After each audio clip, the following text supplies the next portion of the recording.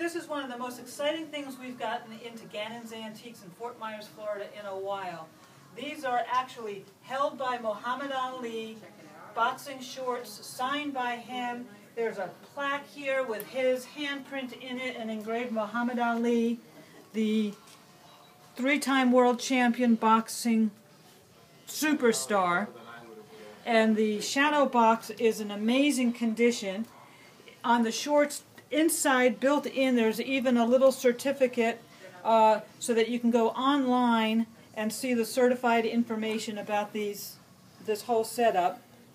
If you want to make your man happy, this is the thing you need to rush in and get now for Christmas. And if you're a guy and you already want something, don't don't wait. This will go.